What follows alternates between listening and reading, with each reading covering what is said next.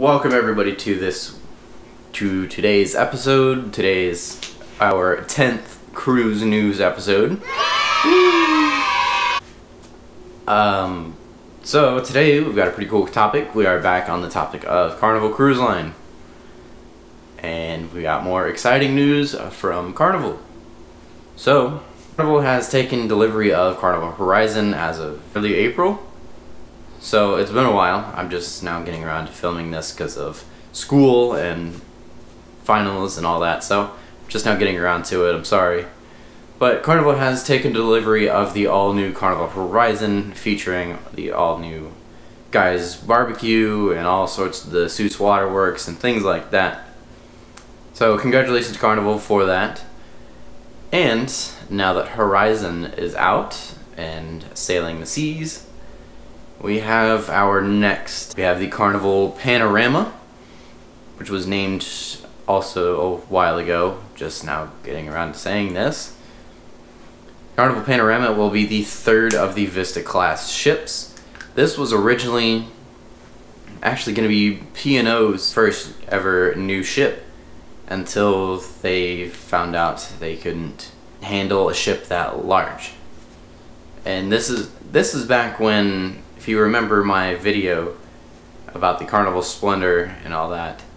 The Carnival Splendor was originally going to be traded and Carnival Splendor was going to leave Carnival Cruise Lines and go sail for P&O Australia as their biggest ship, and we were going to get Vista 3 or Panorama. And then several months ago, Carnival said, we're actually going to keep the Splendor and we're going to keep the Panorama. And now it was Golden Princess is now going to be that taking that spot for P&O as that new big ship. So now we get to keep Carnival Splendor and we now get to keep Carnival Panorama. Cool thing about this, cool thing about this is now that we are keeping both. Currently, Carnival Splendor is over out of Long Beach doing the seven night cruises from there.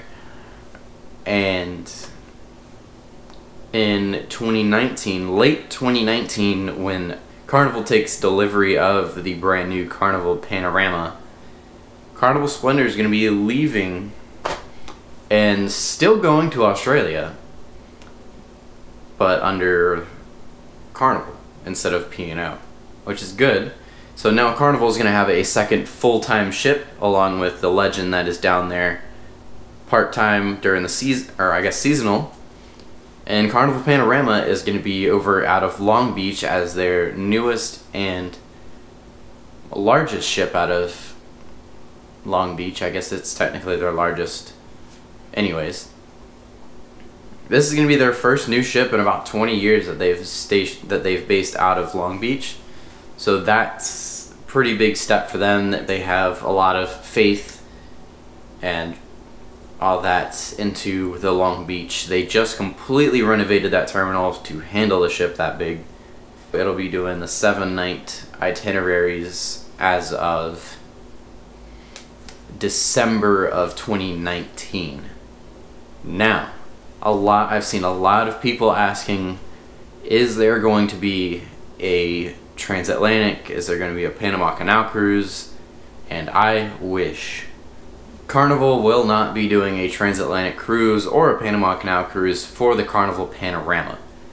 This is because the the way the lifeboats are set up, where they're kind of hanging under that lanai deck, uh, I guess something to do with the canal. It there's a possibility of them hitting the edges or the walls, or at least that's my theory on it.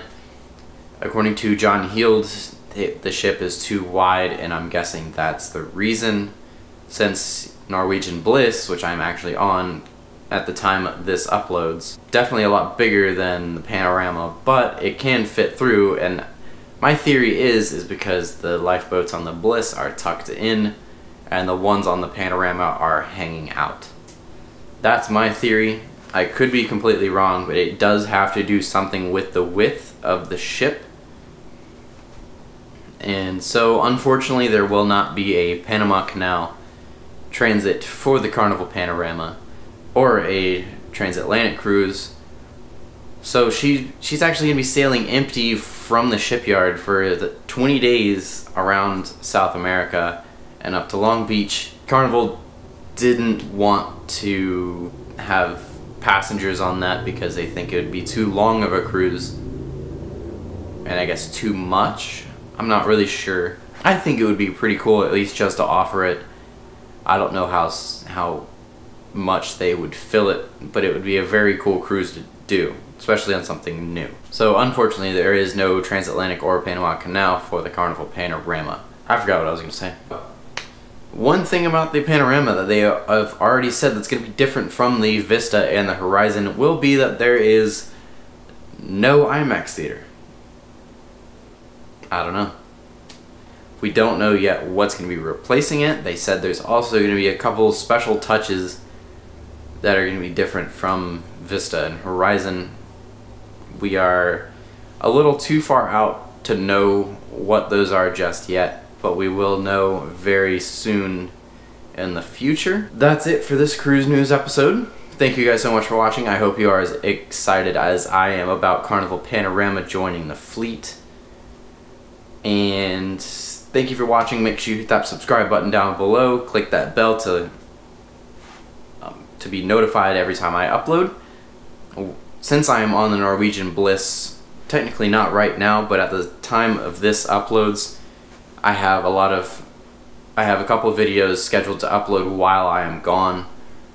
So there will be every Monday and Friday at noon, and then when I get home from the Bliss, I will have all the Bliss videos going up Monday, Wednesday, Friday at noon.